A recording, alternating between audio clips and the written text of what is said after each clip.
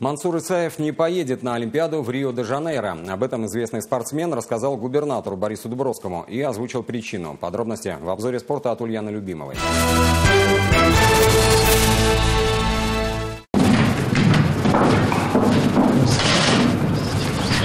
Губернатор Челябинской области сегодня встретился с олимпийским чемпионом по дзюдо 2012 года Мансуром Исаевым.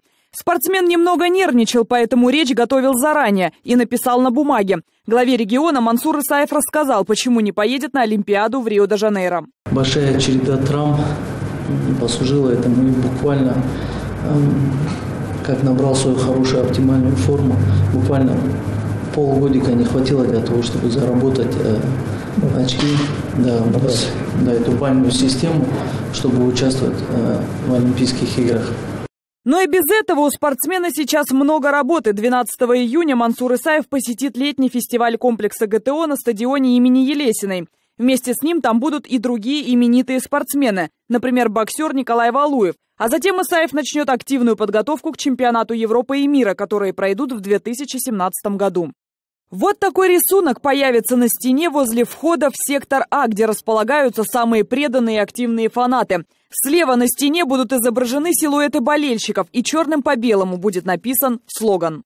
Слоган «Сила в единстве» и «Black White Ultras» – черно-белый фанат, поддержка хоккейного коммутатора. Художники работают уже четвертый день. По их словам, самое сложное было прогрунтовать стену в белый цвет, ведь изначально она была бежево-желтой. Все работы завершатся уже к выходным. Летом болельщики Челябинского клуба «Трактор» планируют еще ряд мероприятий. 18 июня фанаты будут участвовать в гонке героев в Чебаркуле, а 2 июля проведут турнир по футболу в Екатеринбурге. А шесть южноуральских спортсменов сегодня получили значки мастеров спорта. Марина Македонских за спортивные достижения в гиревом спорте. Она победила на открытом Кубке Европы. Гирю весом 24 килограмма девушка поднимает больше 170 раз и получает значок мастера спорта международного класса. У меня рекорд 178. А, норматив мастера спорта международного класса 158. Гиревой спорт, он все равно более женственный, вот рывок даже можно сказать, потому что там не надо излишнюю